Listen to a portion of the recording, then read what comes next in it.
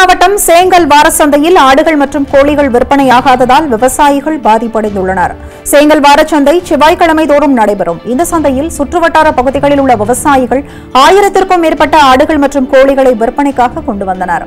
ஆனால் கார்த்திகை மாதம் தொடங்கிவிட்டதாலும் மழை விட்டுவிட்டு பெய்து வரும் காரணத்தினால் கடந்த வாரத்தை விட இந்த வாரம் குறைவாக விற்பனையானதாக விவசாயிகள் வேதனை தெரிவித்துள்ளனா்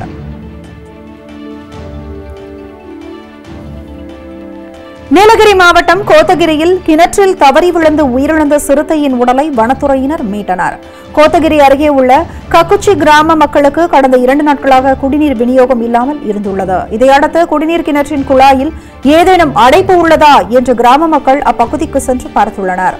அப்போது குடிநீருக்காக வந்த சிறுத்தை ஒன்று கிணற்றில் தவறி விழுந்து தப்பி செல்வதற்காக மின் மோட்டார் ஒயர்களை கடித்ததில் மின்சாரம் தாக்கி உயிரிழந்தது தெரிய வந்தது இதுகுறித்து வனத்துறையினருக்கு தகவல் அளிக்கப்பட்ட நிலையில் சம்பவ இடத்திற்கு வந்த வனத்துறையினர் கிணற்றிலிருந்து சிறுத்தையின் உடலை மீட்டனர்.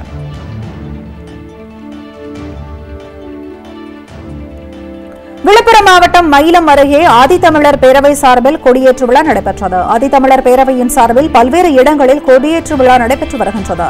அதன் ஒரு பகுதியாக மயிலம் அடுத்த பெரமண்டூரில் நடைபெற்ற இந்த கொடியேற்று விழாவில் மாநில கொள்கை பரப்பு துணைச் செயலாளர் கலையரசன் கலந்து கொண்டு கொடியினை ஏற்றி வைத்தார்.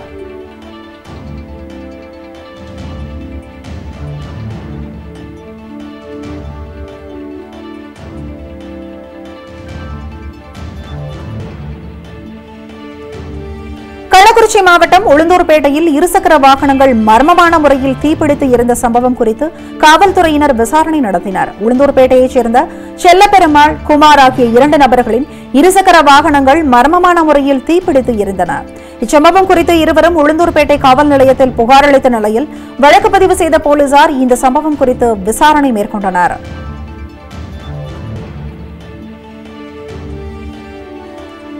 மதுரை வண்டியூர் பகுதியில் வாகனம் பழுது பார்க்கும் கடையில் உள்ள இருசக்கர வாகனங்களுக்கு தீ வைத்த மர்ம நபர்கள் குறித்து காவல்துறையினர் விசாரணை மேற்கொண்டனர்.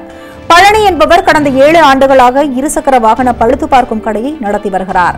இந்நிலையில் அவரது கடையின் வாசலில் நிறுத்தி வைக்கப்பட்டிருந்த இருசக்கர வாகனங்களுக்கு மர்ம நபர்கள் தீ வைத்ததாக கூறப்படுகிறது. இதுகுறித்து கடையின் உரிமையாளர் அளித்த புகாரின் அடிப்படையில் நிகழ்விடத்திற்கு வந்த அண்ணாநகர் காவல்துறையினர் மற்றும் தல்லாகுளம் தீயணைப்புத் துறையினர் வாகனங்களின் பற்றிய தீயை அணைத்தனர். இச்சம்பவம் குறித்து வழக்கு பதிவு செய்த காவல்துறையினர் அப்பகுதியில் உள்ள சிசிடிவி காட்சிகளை வைத்து விசாரணை நடத்தி வருகின்றனர்.